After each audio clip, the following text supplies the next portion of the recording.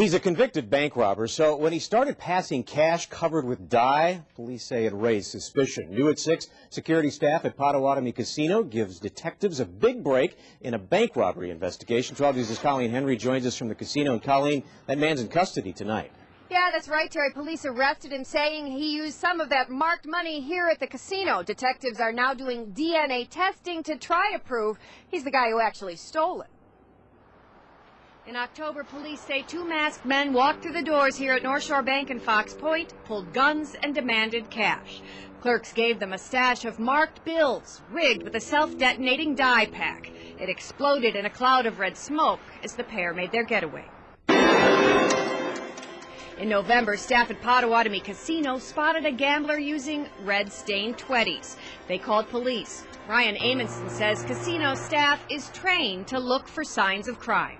They know what to do in these cases, and uh, more often than not, uh, these folks that come in um, and are suspicious, they're going to be uh, they're going to be caught. Casino surveillance video identified 35-year-old James Carter. When police checked his record, they found a lengthy rap sheet that includes a 1990 bank robbery. Police questioned Carter. They say he told them he got the stained cash from someone else. Is James your son? Yes. Well, tell me about what's going on with him. I have no idea. Well, they arrested him, you know. He's in jail?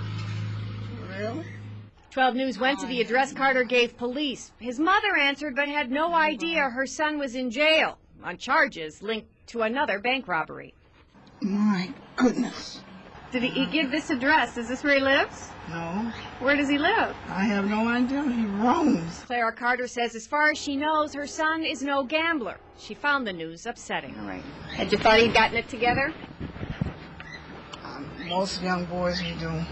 You know, as parents, we always think they get it together one way or the other. Carter is in the Milwaukee County Jail tonight on the charge of receiving stolen property. That's a misdemeanor, Terry. Colleen, police say uh, Carter could face more charges. Yeah, actually, yesterday police got a DNA sample from him at the county jail. They plan to test that against DNA taken from the bank uh, at the robbery scene back in October. They hope if they get their match, they can then charge him with armed robbery, which carries a much heftier sentence.